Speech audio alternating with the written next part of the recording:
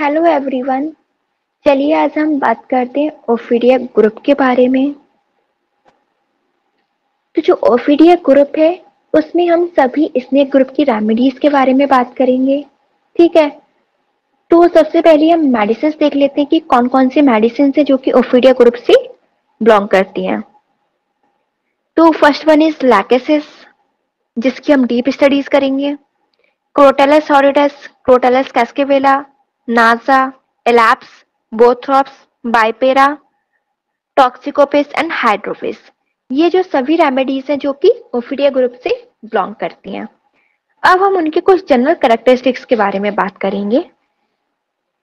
सबसे पहले हम बात करेंगे डॉक्ट्राइन ऑफ़ सिग्नेचर को लेके। तो ये जो डॉक्ट्राइन ऑफ़ सिग्नेचर है ओफिडिया ग्रुप का, ठीक है उसको स्टार्ट करते हैं one by one first point is जो स्नेक होते हैं, वो काफ़ी ज़्यादा हीट के लिए सेंसिटिव होते हैं। अब ये जो स्नेक होते हैं, काफ़ी ज़्यादा हीट के लिए सेंसिटिव होते हैं, जिसकी वजह से ये डीप ब्रोस बना के रहते हैं। ठीक है? तो जो पेशेंट्स होते हैं ओफिडिया ग्रुप के, उनकी जो कंडीशन होती है, वो वार्म से वर्स होती है।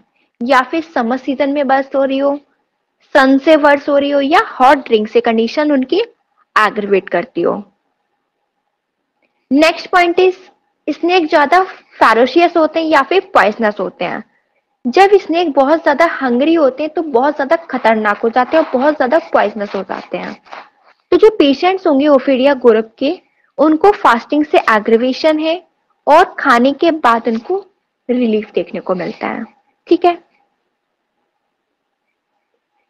थर्ड पॉइंट इज़ स्नेक्स काफ़ी ज़्यादा पॉइजनस होते हैं। या फिर हम ये भी कह सकते हैं कि जो स्नेक का जो माइंड होता है, वो काफ़ी ज़्यादा पॉइजन होता है।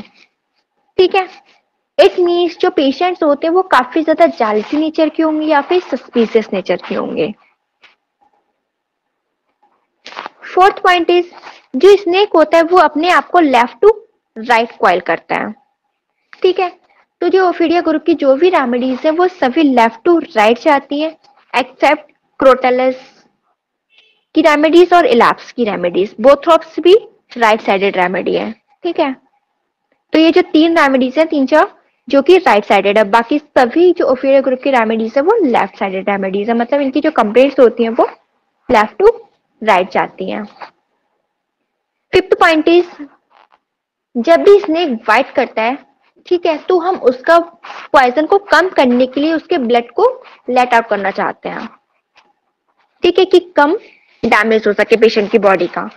तो पेशेंट को जो आराम मिलता है, वो ब्लीडिंग से रिलीफ देखने को मिलता है या फिर कोई भी अदर डिस्चार्जेस हो तो उससे उसको रिलीफ देखने को मिलता है। नेक्स्ट पॉइंट की बात करें सिक्स पॉइंट तो स्नेक जो होते हैं, वो काफ़ी ज़्यादा सेंसिटिव होते हैं टच के लिए और वाइब्रेशन के लिए। तो पेशेंट्स भी की जो कंडीशन है, वो टच से एग्रीवेट होती है और स्लाइटेड साउंड से उनकी कंडीशन एग्रीवेट होती है। ठीक है? नेक्स्ट पॉइंट इज़ जो स्नेक होते हैं, वो लार्ज क्रिएचर्स को बहुत इजीली सॉलो कर लेते हैं। क्योंकि जो सॉलिड्स के द्वारा प्रेशर क्रिएटेड होता है, जिसकी वजह से वो सॉलिड इजीली निगल लेते हैं। तो जो पेशेंट्स होते हैं, वो भी सॉलिड को इजीली निगल लेते हैं बट लिक्विड से उन्हें प्रॉब्लम्स देखने को मिलती हैं। Next and last point is जो स्टूल होती है स्नेक की, वो काफ़ी ज़्यादा ब्लैक होती है और ऑफेंसिव होती है। तो जो डिस्चार्जेस होते हैं ओफीडिया ग्रुप के पेशेंट्स के, वो डार्क होंगे और ऑफेंसिव होंगे। ठीक है? तो ये तो बात रही हमारे कुछ डॉक्टर ऑफ़ सिग्नेचर्स के बारे में। नेक्स्ट हम कुछ उसके करेक्टरिस्टिक्स पॉइंट्स के बारे में इंडिकेट करना चाहेंगे। फ़र्स्ट वन इज़ कॉन्स्टिट्यूशन तो जो पेशेंट का कॉन्स्टिट्यूशन होता है, वो हैमरेजिक कॉन्स्टिट्यूशन होता है। ठीक है? इनकी जो स्किन होगी पर्पल या फिर मोटर कलर की देखने को मिलेगी। बहुत ज़्यादा रेस्टलेस पीपल होंगे। नेक्स्ट वन इज़ डायथिसिस भी इनकी हैमरेजिक देखने को मिलेगी। अगर हम थर्मल की बात करें तो ओफीडिया ग्रुप के जो पेशेंट्स होते हैं, वो काफ़ी ज़्यादा सेंसिटिव होते हैं हीट के लिए। तो ये हॉट पेशेंट होते हैं, ठीक है? एक्सेप्ट इलेप्स और नाजा जो कि चिली रेमेडीज के अंडर में आती हैं। बाकी सभी ओफीडिया ग्रुप जो होती है, वो हॉट रेमेडीज है। कॉमन अगर एलिमेंट्स देखें कि किन किन से इनकी एलिमेंट्स बढ़ती हैं तो फ्राइड से जैलसी अल्कोहलिज्म ओनिज्म की वजह से loss of vital fluids menses अगर सप्रेस्ड हो जाए तो उनकी वजह से भी कंप्लेंट्स अराइज हो जाती है। लॉन्ग लास्टिंग ग्रीफ की वजह से डिसअपॉइंटेड लव समर सीज़न में स्प्रिंग सीज़न में इनकी कंप्लेंट्स एग्रीवेटेड रहती है, ठीक है? या फिर कॉजेस जो है, वो हमने अभी डिस्क्राइब किए हैं। अब हम इनकी बात करेंगे कुछ कॉमन करेक्टरिस्टिक्स मेंटल सिम्टम्स के बारे में।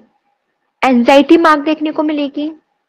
और जो फियर होता है, इनका बेसिक मेंटल फीचर होता है, जिसकी वजह से पेशेंट नर्वस डिप्रेशन की तरफ़ चले जाते हैं या फिर पेशेंट्स को हेलुसिनेशन होना चालू हो जाता है। लोकेसिटी काफ़ी ज़्यादा मार्क्ड होता है। सस्पिशियस नेचर के देखने को मिलेंगे। डिसीज का फियर इनको काफ़ी ज़्यादा देखने को मिलेगा और डेथ का फियर कि कहीं मेरी डेथ ना हो जाए। Next point is religious insanity तो काफ़ी ज़्यादा जो इनकी स्टेट रहती है, वो रिलीजियस मैलेंकोली टाइप की होती है। इनको ऐसा लगता है कि ये जो कुछ सुपर नेचुरल पावर्स के अंडर कंट्रोल में है। हमेशा इनको ये सोचते रहते हैं ये। डिलीरियम्स काफ़ी ज़्यादा मार्क्ड होती है। मट्टिंग डिलीरियम देखने को मिलेगा। ठीक है फास्टिडियस नेचर के देखने को मिलेंगे। इरिटेबिलिटी मार्क्ड होगी एंड क्वालसम नेचर के होंगे। ओफिडिया ग्रुप में काफ़ी ज़्यादा कॉम्पिटेटिव माइंड देखने को मिलेगा। ठीक है कंपटीशन बहुत ज़्यादा देखने को मिलता है बच्चों में, या फिर पर्सन में। डबल स्टैंडर्ड्स के होते हैं। जालसी क्वारलसम मालिशियस हमेशा डर्टी टेक्स को प्ले करते रहेंगे। ऑप्सीन गैस्चर देखने को मिलता है इनके में। तो ये तो बात रही हमारी कुछ कॉमन मेंटल सिम्टम्स के बारे में। अब हम कुछ कॉमन फ़िज़िकल सिम्टम्स के बारे में बात करें तो इसमें हेमरेजिक कंडीशन टाइथिस मार्क्ड होती है डार्क रेड ब्लड की ओजिंग होनी चालू हो जाती है, या फिर पूरी बॉडी पे डार्क स्पॉट्स बन रहे हो इकाइमोसिस की कंडीशंस देखने को मिल रही हो पैटेकियल हैमरेज पेन भी इसका लेफ़्ट टू राइट जाता है एक्सेप्ट क्रोटेलस और इलैप्स को छोड़ के।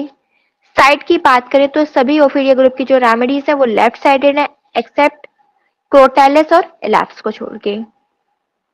ठीक है?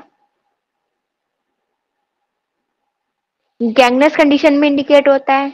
अल्सर्स में हेमेचोरिया की कंडीशन सेप्टिशीमिया हाइपर सेंसिटिवनेस काफ़ी ज़्यादा मार्क्ड होती है। डावलिटी देखने को मिलेगी पेशेंट्स में पैलेसिस की कंडीशंस भी देखने को मिल सकती है कि ट्विचिंग हो रही हो फॉर्मिकेशन की कंडीशन देखने को मिल रही हो नब्स पे अफेक्शन देखने को मिल रहा है, ठीक है? डिस्चार्जेस इसके काफ़ी ज़्यादा ऑफेंसिव होते हैं प्रोफ्यूज देखने को मिलेंगे ब्लडी होंगे, या फिर उनके जो डिस्चार्जेस सप्रेस हो जाए तो जिसकी वजह से इनकी कंप्लेंट्स अराइज हो जाती है। तो ये तो बात रही उनके कुछ फ़िज़िकल सिम्टम्स के बारे में। एक और इनका फ़िज़िकल सिम्टम जो कि काफ़ी ज़्यादा मार्क्ड होता है लाइक क्रेविंग इनको काफ़ी ज़्यादा अल्कोहलिक ड्रिंक्स की क्रेविंग होती है कोल्ड ड्रिंक्स की क्रेविंग होती है या फिर ऑयस्टर्स की। एग्रीवेशन होता है इनका मॉर्निंग में। सोने से इनको एग्रीवेशन होता है स्लीपिंग से। थोड़ा बहुत भी शोर शराबा बर्दाश्त नहीं कर पाते। डिस्चार्जेस के सपरेशन की वजह से समर सीज़न में टच से इनका एग्रीवेशन है। अगर आराम की बात करें तो जब पेशेंट सो के उठ जाते हैं तो उनको बेटर फील होता है, या फिर डिस्चार्जेस के एपिरियंस से। जबकि ये हॉट रेमेडीज है तो इनको कोल्ड से रिलीफ देखने को मिलता है, ठीक है? तो ये इनका कॉमन जनरल मॉडलिटीज है। अब अगर हम जब नेक्स्ट वीडियो अपलोड करेंगे तो इसमें इन सभी रेमेडीज के बारे में बात करेंगे। कि लैकेसिस किस कंडीशंस के लिए इंडिकेट होता है क्रोटलस हॉडिटस कास्केविला तो इनको कंटिन्यू वन बाई वन देखेंगे। ब्रीफली इसको एक्सप्लेन करेंगे। अगर आपको मेरी वीडियो पसंद आई हो तो लाइक करें शेयर करें and subscribe my channel thank you